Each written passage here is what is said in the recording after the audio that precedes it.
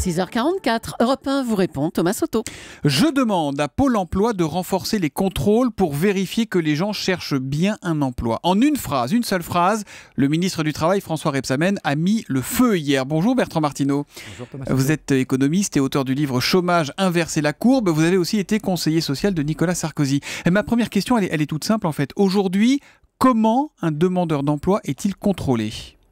Alors aujourd'hui, il est contrôlé donc par Pôle Emploi dans le cadre de règles qui sont fixées euh, par la loi, par, la règle- par la réglementation, et il y a euh, il y a des, de nombreux contrôles qui sont faits euh, quotidiennement, notamment au moment des entretiens Mm. que les chômeurs ont avec leurs conseillers. Donc c'est quelque chose qui existe depuis déjà Et assez Il longtemps. y a des entretiens qui sont obligatoires à, à des, des intervalles réguliers, c'est ça? Tout à fait. Alors ça dépend. Ils vont pointer en fait, en quelque sorte. Oui, alors maintenant, ça, alors ça se fait essentiellement par Internet. hein. On, ne voit, on ne vient peu voir son conseiller uniquement pour, pour pointer. hein. Mhm. Ça ne se passe pas comme ça.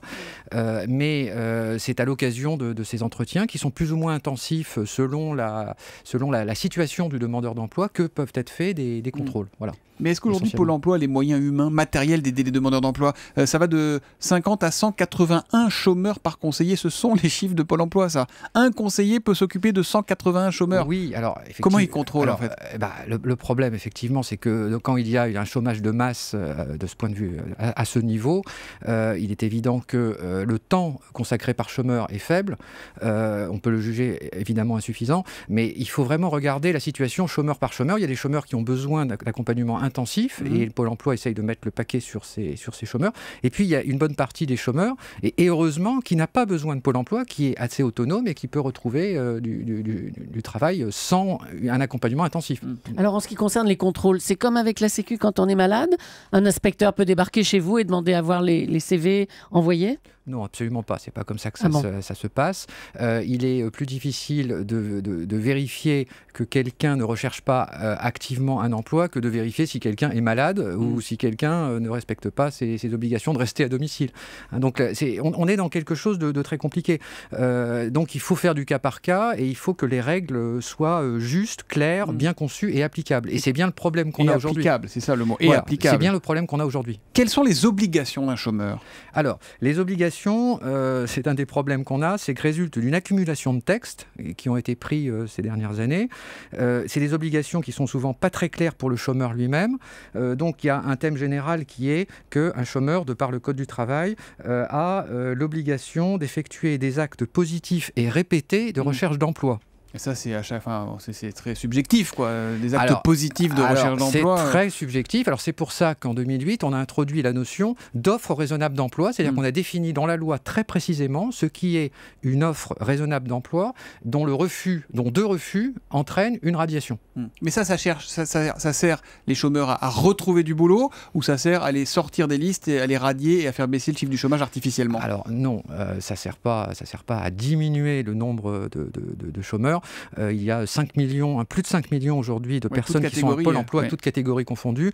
Euh, c'est pas en radiant euh, quelques dizaines de milliers de personnes supplémentaires qu'on va faire baisser le, le chômage. Donc le problème n'est pas là. Le problème, si vous voulez, c'est qu'on a euh, un système d'assurance chômage qui est relativement généreux en comparaison européenne, et donc il est assez normal qu'on contrôle Mm. la réalité de la recherche d'emploi. Je pense que sur le principe lui-même, il n'y a pas débat, si vous voulez. Ensuite, il faut regarder si les règles sont justes, applicables, si les sanctions sont proportionnées, euh, si elles sont efficaces, si elles sont dissuasives. C'est ça qu'il faut regarder plutôt que d'être dans l'hystérie euh, permanente. Alors, on a un tweet de Nico Bisput avec le hashtag un matin. Le ministre devrait aussi s'inquiéter de la formation des employés Pôle emploi qui peinent à bien renseigner.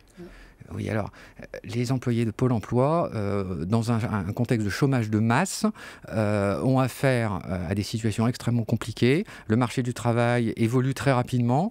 euh, et donc, il faut admettre que Pôle emploi ne crée pas de l'emploi. hein, et les, agents de Pôle emploi font ce qu'ils peuvent dans un contexte On extrêmement d'accord, mais difficile. du coup, on se retrouve dans une situation un peu bizarre où on a l'impression qu'on pointe le chômeur et qu'on lui dit T'es au chômage, c'est de ta faute. Oui, alors. Il y a quand même cette impression Alors, qui est assez faut- désagréable pour tous ceux qui sont hyper majoritaires, qui cherchent sérieusement du Alors boulot. voilà, alors c'est tout tout le problème. C'est que, si vous voulez, il faut sortir euh, un peu de, ce, de, cette vision un peu hystérique de d'un côté chômeurs tricheurs, de l'autre euh, les chômeurs qui rechercheraient tous de l'emploi. La, vérité est un peu entre les deux. Vous avez une immense majorité de personnes qui ne trouvent pas de travail, euh, même pendant très longtemps. Vous avez même des personnes qui, qui désespérément font des actes de recherche d'emploi mm. et puis au bout d'un an ou deux ans sont, finalement sont désespérés et se découragent. Parce hein. qu'on ne leur répond pas, parce qu'ils n'ont pas d'entretien, parce qu'on leur dit qu'ils sont trop voilà. Alors, il faut rappeler qu'il y a effectivement un certain nombre de, chômeurs qui ne, cherchent pas suffisamment de travail. Il y en a qui, effectivement, euh, euh, utilisent un peu, euh, sont sur des métiers où ils savent qu'ils vont retrouver facilement du travail. Donc, ils utilisent un peu l'assurance chômage pour, bah, effectivement, prendre quelques vacances. Ça peut arriver, c'est connu. Il y a sans ça doute peut quelques... dans la restauration où il y a beaucoup de Mais bien sûr, c'est tout connu. Beaucoup d'entre nous, des auditeurs, connaissent des gens qui sont restés un mois ou deux comme ça. Mais si vous voulez, il y a 500 000 chômeurs de plus depuis deux ans. C'est pas 500 000 paresseux qui, sont, qui se sont inscrits à Pôle emploi pour le plaisir, mm. vous comprenez bien. Alors moi j'ai regardé les chiffres de la fraude entre 2012 et 2013 détectés par Pôle emploi.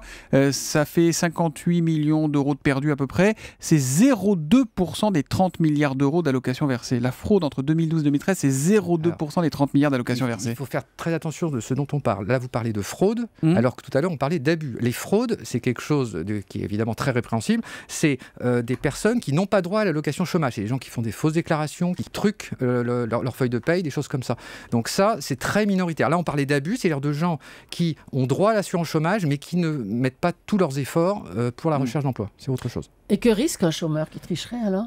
Alors, euh, c'est là justement qu'il faut faire porter le débat sur des faits et des chiffres. Qu'est-ce que risque un chômeur? Concrètement, en France, euh, la sanction est, très faible, puisque dans la quasi-totalité des cas, dans à, peu près 30 000 par an, dans la grande majorité des cas, il, la sanction, c'est une radiation pendant 15 jours. C'est-à-dire mmh. pendant 15 jours, on ne vous verse pas les allocations, elles sont reportées dans le temps. Ah d'accord. Elles sont récupérées plus tard. Voilà, c'est-à-dire que si vous avez un an, euh, un an de droit euh, d'assurance chômage, on aura un an et 15 jours du coup. Vous, bah, vous avez toujours un an, mais, mais ça va durer 15 jours de plus. C'est exactement ça. Alors par exemple, il faut il faut vous dire les choses très concrètes. Par exemple, Pôle Emploi aujourd'hui n'a pas la possibilité de supprimer des droits ou de réduire des droits. Mhm. Il doit demander la permission à l'État, c'est-à-dire au préfet. Et qui de fait la donne ou pas? Bah, le préfet n'a souvent pas les moyens, il n'a pas mm. les moyens administratifs de le faire, et du coup les, dossiers s'enlisent, et donc Pôle Emploi ne le fait pas. Et, donc on n'a pas ce type de sanction euh, qui serait efficace, de suppression, de réduction. Je pense que c'est sur ces sujets techniques qu'il faudrait parler plutôt que euh, d'être dans l'hystérie. Dernière question, euh, Bertrand Martineau, est-ce que c'est pas la défaite de la politique quand on commence à accuser les chômeurs d'être des tricheurs? Alors, ça s'est fait à droite, ça s'est fait à gauche. Hein. Je, n'ai pas entendu d'hommes politiques récemment accuser les chômeurs d'être majoritairement tricheurs. Mais les propos de François Rebsamen étaient euh, un peu. Ah, il a corrigé dans la journée après, mais c'était quand même un peu ambigu. Encore une hein. fois, je pense que personne de sensé. On peut se mettre d'accord sur le fait qu'il y a de toute évidence un certain nombre de personnes qui ne recherchent pas activement de l'emploi, hein, notamment dans les métiers en tension. Mais encore une fois, il y a 500 000 chômeurs de plus depuis deux ans. Mhm. Euh, personne de sensé ne dira que c'est majoritairement des personnes euh, qui ne recherchent pas d'emploi. Merci Bertrand Martineau d'être venu en direct sur Europe 1 ce matin. Je rappelle le titre de votre livre, Chômage, inverser la courbe, et c'est publié aux éditions des Belles Lettres. Merci, bonne journée à vous. Merci. Europe 1, 6h52. Vous vous sentez peut-être fourbu.